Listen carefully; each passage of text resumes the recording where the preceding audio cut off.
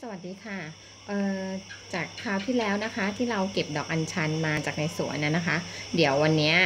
จะมาสาธิตการทำต้มน้ำชาดอกอัญชันนะคะย่าหวาน ตัวนี้เป็นดอกอัญชันที่เราเพิ่งเก็บมานะคะ อันนี้ล้างทำความสะอาดนะคะ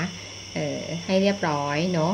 ตัวดอกอัญชันเนี่ยก็อธิบายไปแล้วว่าเออมีคุณสมบัติสรรพคุณดีมากเลย ในเรื่องของการช่วยบำรุงสายตานะคะ แก้อาการพวกตาฝ้าตาฟางนะคะ จากพวกเอ่อพวกโรคต้อต่างๆนะคะโรคต้อตาต่างๆ แล้วก็พวกอาการตาเสื่อมจากโรคเบาหวานอะไรเงี้ยนะคะ ก็ช่วยบำรุงสายตาได้ดีด้วยนะคะ หรือบางคนเนี่ยก็สามารถนำไปผสมอาหารเพิ่มสีสันในอาหารได้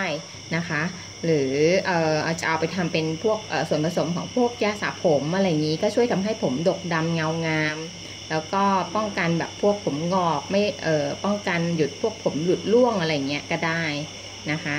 อ่าอันนี้เป็นดอกอัญชันที่เราปลูกเองนะคะ ก็คือปลอด ปลอดสารพิษแน่นอนก็คือเราปลูกเองตามธรรมชาติก็เก็บเก็บเอาในสวนเนาะจริงๆสรรพคุณของเขาเยอะมากนะคะ เพราะว่าเออเนื่องจากว่าเขาเนี่ยมีสารชะลอความแก่ด้วย คือหมายถึงว่ามีสารเอ่อในการต้านอนุมูลอิสระสูงนะคะ ก็คือชะลอความแก่นะ แต่ถ้าทานทานแบบนานๆ ครั้งได้นะคะ ก็คืออันนี้ก็คือเป็นการช่วยบำรุงสายตาแล้วก็ช่วยะลอความแก่ชะลอวัยแต่ว่าอย่าต้มหรือว่าอย่าทานติดๆกันนานๆเป็นเดือนๆอะไรเงี้ยไม่ไม่เอานะคะ เพราะว่าสารสีม่วงเนี่ยก็คืออันนี้ก็ทำให้ไตต้องขับมันออกมาด้วยนะคะ ก็ทำให้ไตทำงานหนักถ้าเราทานแบบหลายๆวันเป็นเดือนๆติดต่อกันอะไรเงี้ยนะคะ ก็ระวังในการใช้นิดหนึ่งวิธีการต้ม วันนี้เราจะต้มน้ำอัญชันนะคะอ่ากับย่าหวานตัวนี้ก็คือเป็นน้ำย่าหวานที่เราเคยต้มเก็บไว้ นะคะอืมย่าหวานตัวนี้เนี่ยเราใช้ใบสดหรือใบแห้งในการต้มน้ำเก็บไว้ก็ได้นะคะทำไมเราต้องใช้น้ำย่าหวาน เพราะว่าเอ่อที่เราหลีกเลี่ยงในการใช้ใบสดหรือใบแห้งใส่ลงไปในการต้มน้ำสมุนไพรเลยเนี่ย เพราะว่ามันจะกะปริมาณความหวานลำบากนะคะ เพราะว่าย่าหวานเนี่ย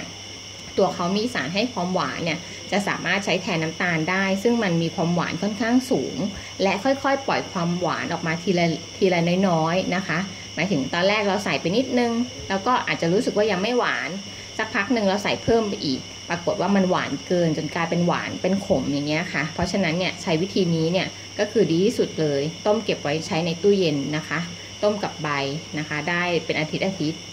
ถ้าใครสนใจอยากจะรู้ว่าทำยังไง ก็ให้ไปติดตามคลิปคราวที่แล้วของเราดูนะคะ โอเค น้ำเริ่มเดือดแล้ว อันนี้ก็คือใส่ดอกอัญชันนะคะ ลงไปได้เลยนะ กะปริมาณเลยนะ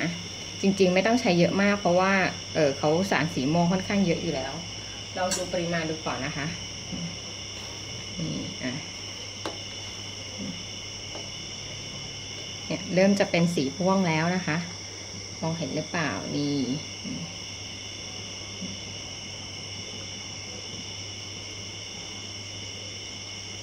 ความเข้มข้นก็แล้วแต่เราจะต้องการเลยนะคะ อันนี้มองเห็นตามภาพนะคะ ต้มให้ตัวนี้ก็คือสีเนี่ยสารสีม่วงของเขาออกมาจากตัวดอกนะคะ มันก็จะทำให้ดอกเนี่ยเริ่มมีการซีดจางอืม ดอกเขาเนี่ยถ้าเราไม่เอามาต้มน้ำนะคะ เราสามารถที่จะเด็ดดอกสดๆเนี่ยทานจิ้มกับน้ำพริกเลยก็ได้นะคะเขาจะกลิ่นไม่ค่อยมีกลิ่น ไม่ค่อยมีรสเท่าไหร่อะค่ะ จะออกหวานนิดๆเท่านั้นเองต้มไปได้สักพักก็จะเป็นแบบนี้นะคะเดี๋ยวขอใส่ไปอีกนิดนึง เพื่อให้มันมีความม่วงมากขึ้นนะจะดูว่าม่วงแค่ไหนนี่ ส่ไปเลยใส่ไปเลยลองดูก่อนนะคะ ความม่วงค่อยๆเยอะขึ้นเรื่อยๆนะเพิ่มสีสันโอเคคิดว่าสีแค่นี้ก็คงพอแล้วนะคะสำหรับการทำชา ต้มไปประมาณแค่เนี้ยค่ะ ไม่เท่าไหร่สองสามนาทีนะเพราะเขาเนี่ยเริ่มมีการสีใบเริ่มมีการซีดจางแล้ว เราก็พอได้แล้วเนี่ยมันเริ่มซีดแล้วนะคะอืมเนี่ยความม่วงเริ่มจะได้แล้วก็ปิดไฟได้เลยนะ ก็จะทานแบบร้อนๆก็ได้ก็คือออทานเป็นชาร้อนๆนะคะ แล้วก็หรือว่าจะรอให้เย็นอีกสักพักหนึ่งแล้วถึงจะตอกใส่ตู้เย็น แต่เราจะชิมความหวานนะ คือปรุงด้วยย่าหวานน้ำย่าหวานนิดหนึ่งอะ อ่าว่ากะความหวานตามชอบ แต่อย่าใส่เยอะมากในตอนแรกๆค่อยใส่ทีละน้อยก่อน ไม่งั้นเดี๋ยวจะหวานเกินจนกลายเป็นขมนะคะ ใส่ไปสี่ช้อนก่อน โอเค ตัวย่าหวานเองเขาทนความร้อนได้ค่อนข้างสูงนะคะ เกินกว่าร้อยองศาเซลเซียสเพราะฉะนั้นไม่ต้องกลัวเลย สามารถนำไปปรุงอาหารได้ได้เลยนะคะ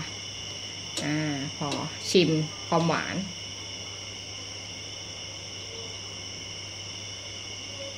อืม ค่อนข้างหวานแหละ แต่ขออีกสักหน่อยนึง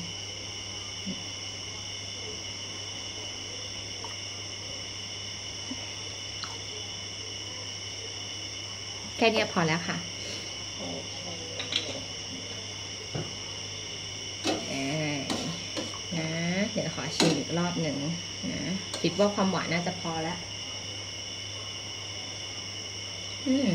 มันจะหวานออกแบบชุ่มคอนิดๆนะคะ ความหวานของเขาจะไม่หวานแหลมเหมือนกับน้ำตาลเนาะะถ้าสมมุติว่าเราจะทำมาเป็นชานะคะ เราก็ตักใส่ถ้วยเลย